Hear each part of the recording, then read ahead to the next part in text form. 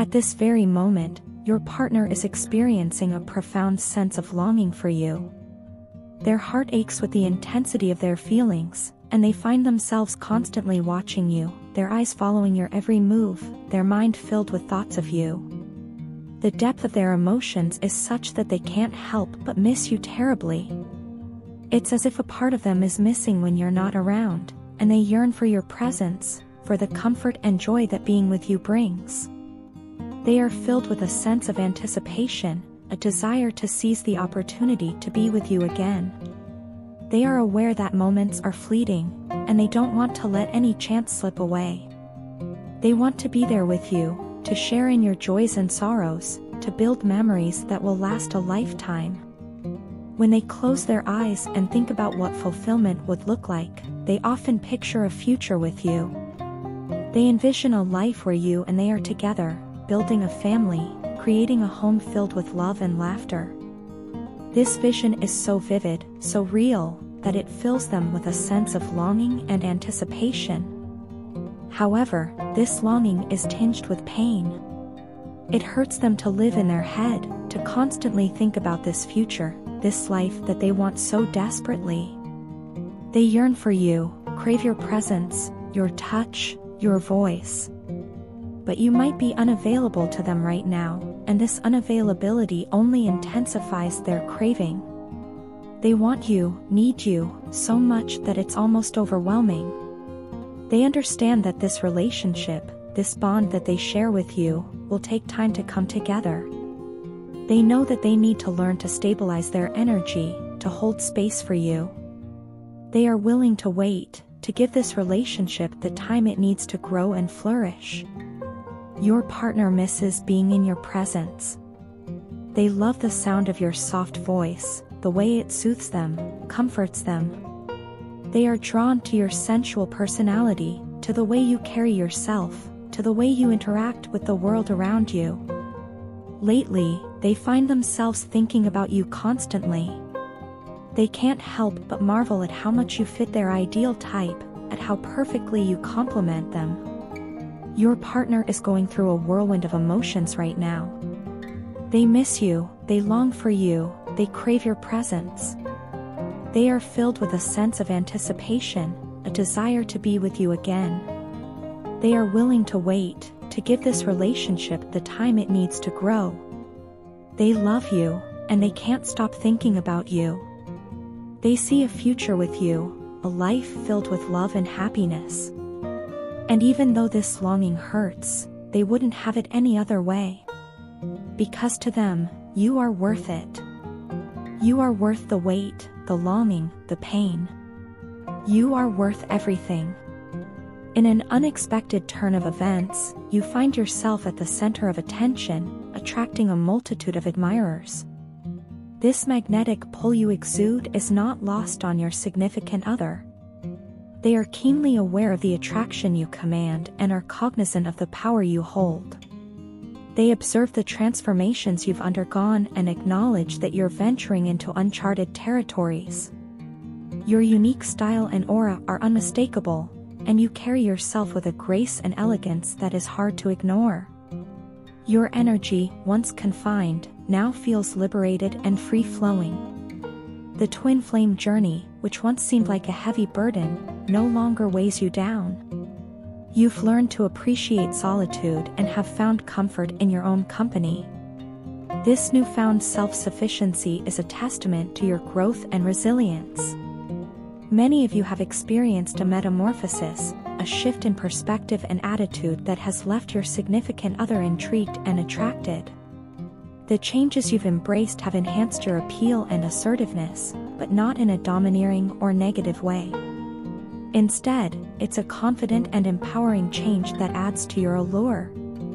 Your significant other dreams of you, their subconscious filled with images and thoughts of you. They send you vital energy, a silent reminder not to give up on them. They plan to approach you with a stable offer, a testament to their commitment and dedication. You might also sense their presence telepathically as they attempt to connect with you. This connection is not just physical but transcends into the spiritual realm. Signs and synchronicities of this connection are omnipresent, a constant reminder of the bond you share. You constantly appear in your significant other's search history, a clear indication of their interest and concern.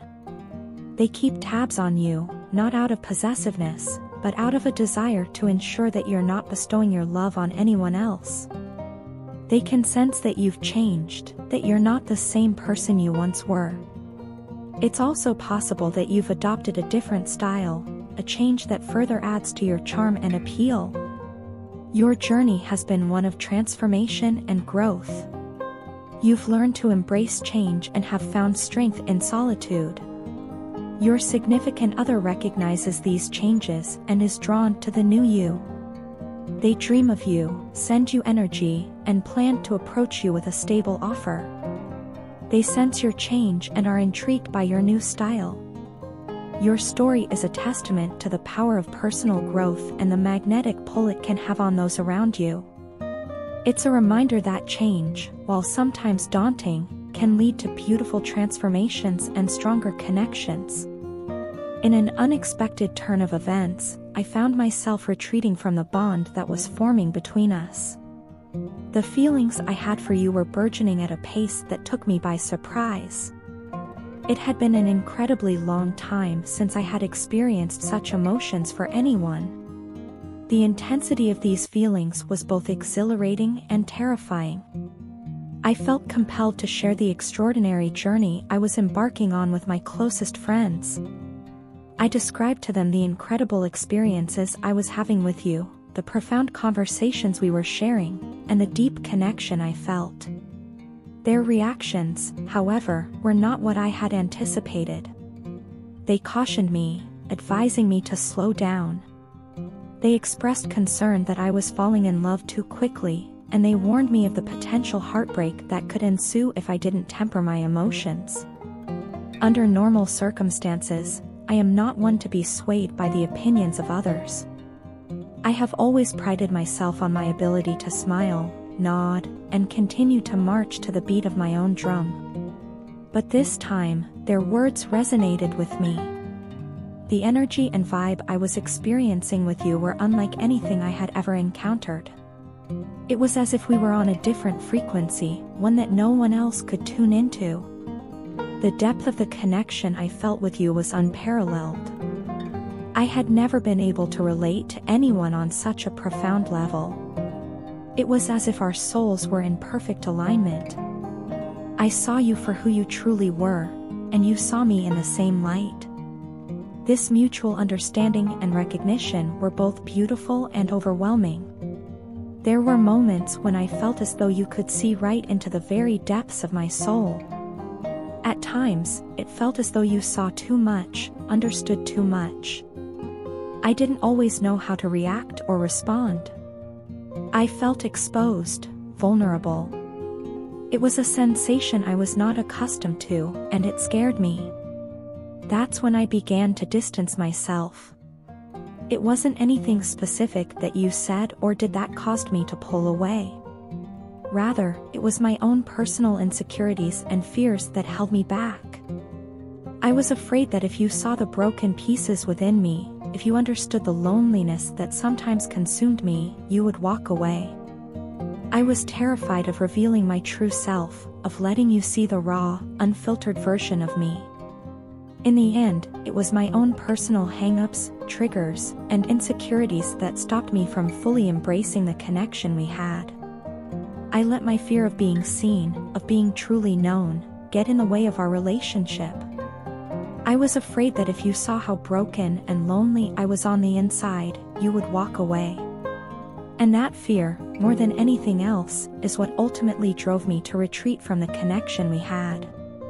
It's a decision that I continue to grapple with, a choice that I question every day.